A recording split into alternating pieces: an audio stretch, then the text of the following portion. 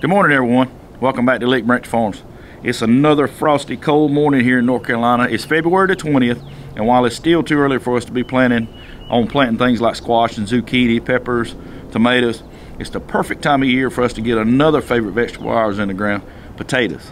Now there's a step-by-step -step process that we use to get our seed potatoes in the ground and in today's video I'm going to show you how we do that.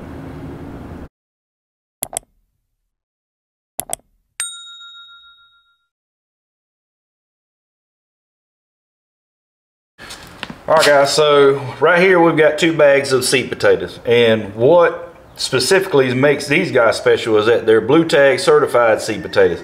And that basically just means that they have been inspected, they are certified disease free and that they have not been washed or treated with any kind of chemical to preserve them. So this, these potatoes come straight out the ground and were put up for seed potatoes. And you can see they range in size from this you know, to a little smaller to something like this. And a majority of these guys have already sprouted. And you can see that's a good thing. That's what we're looking for.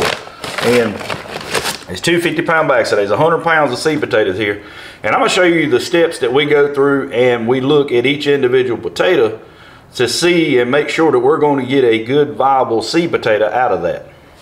Now, a lot of people are going to say, well, can I just use a, a, potato from the grocery store and plant that? Yeah, we've all seen potatoes that we left in the refrigerator or in the, uh, the pantry too long and they sprouted. So you could use that potato, but there's nothing saying that it's going to grow. And if it does, there's nothing saying that it's actually going to put off tubers and make potatoes and if they're going to be any good or not.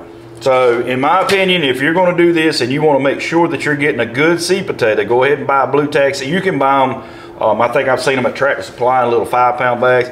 I get these from the local farm supply and I mean, they're not expensive. I got maybe 60 bucks in these two bags. So you're talking $30 a bag for 50 pounds. And this is gonna generate probably close to six 100 foot rows for me. Four to six 100 foot rows are what we'll get out of these two bags. All right, so we want to multiply these bags and we want to make these two 50 pound bags go a lot further. And to do that, we're going to cut these potatoes. We're going to cut them into pieces.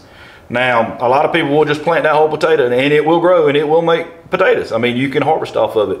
But I can take this potato here and I can get two plants off of this one potato. And I can take this potato here and I can get three plants off of that one potato. Whereas if I just planted that one potato, I'm going to get one plant. So the process that we use is when we cut our seed potatoes and we divide them into pieces that we're going to plant, we have to let the potato cure where we cut it. And that's called uh, suberizing.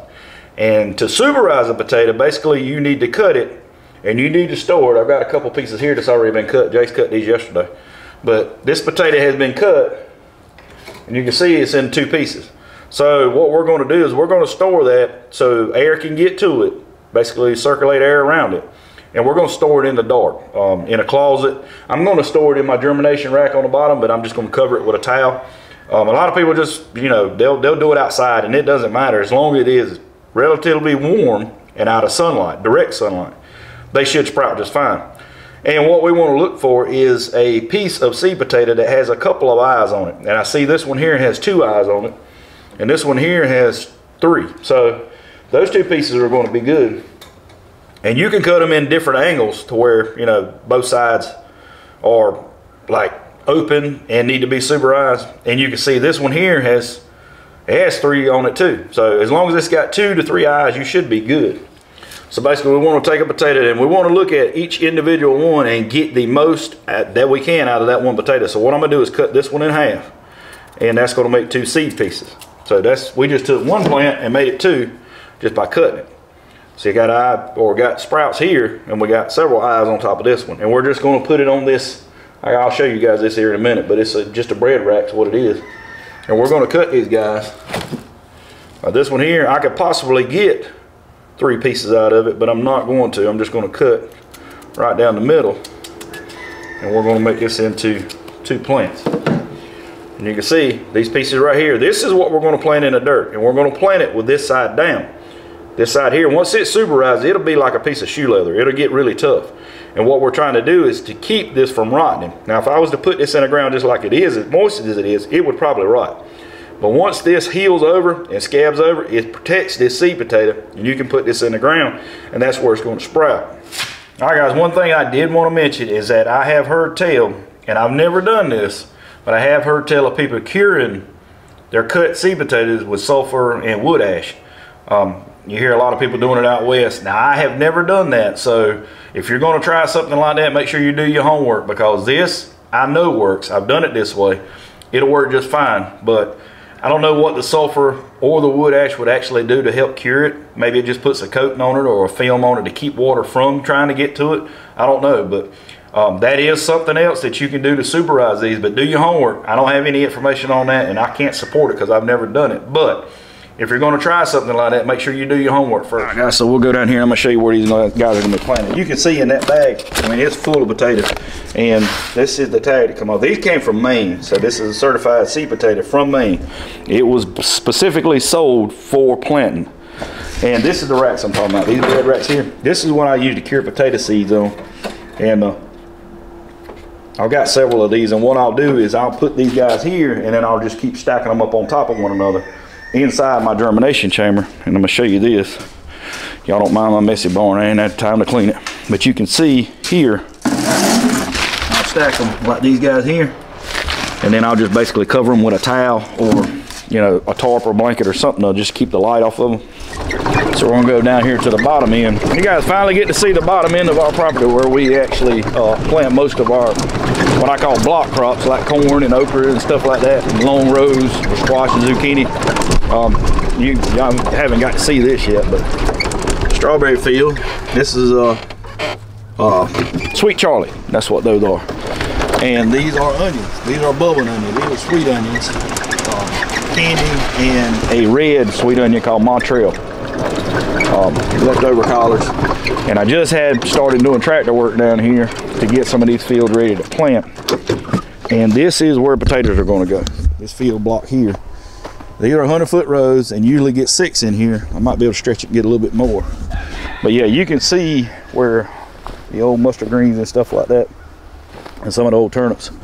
Um, this has been two days since I've turned this over, but you need some warm days to actually to help start breaking this stuff down. And what I'll do is come down here in just a little bit on a tractor and I'll run through this and roll it again. And eventually what that's gonna do is break that stuff down to the point to where the ground will just start, you know, digesting this, this green material and breaking it down so the soil can actually, the soil microbes can utilize it.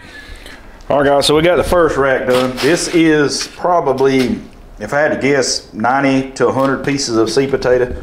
And we know, and you've heard me talk about this in the past, but we know um, what a 100 foot row will produce for a 20 inch spacing, which 20 inches is what we do potatoes on. We do a lot of things on 20, cabbage, uh, broccoli, cauliflower, things of that nature. We do them on a 20 inch spacing, but on a potato bed, we only do, we don't do double plants. We do one plant down the middle of the row. Um, simply because these plants are gonna get massive but we do a 20 inch spacing on these plants, meaning there's 20 inches in between each seed potato where we drop it at. So that tells us we need 60 pieces of seed potato for one 100 foot row. Now this is probably, like I said, 100, 90 to 100 pieces of seed potato, and I've got more racks. So by the time we get done with this, and that's only half of one bag. So by the time we get done with this, we should have enough seed potatoes to do at least six rows. And that's what we're shooting for. And if it's not, that's no big deal. I mean, I can get more. But for right now, we're going to focus on these two bags, hoping that we get six 100-foot rows out of it. All right, so the next step in this process is we're going to get the plot ready. We're going to start composting it. We're going to start amending it. We're going to start putting chicken litter in it. We're going to start disking that in so it has time to mature and get ready to put these uh, potatoes in the ground.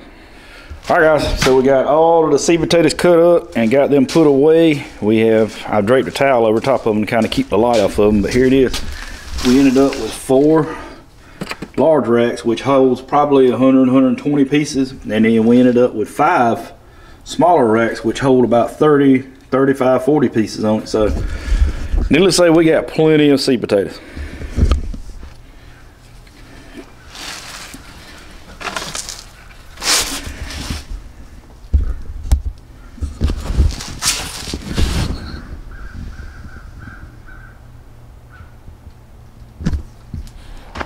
All right guys it is warmed up really really nice out here right now and i'm fixing to come out of this jacket i'm gonna get on this tractor and i'm gonna head down here and i'm gonna roll this potato plot over one more time But as always, guys, we appreciate you stopping by. Thanks for watching, and we'll see you on the next one.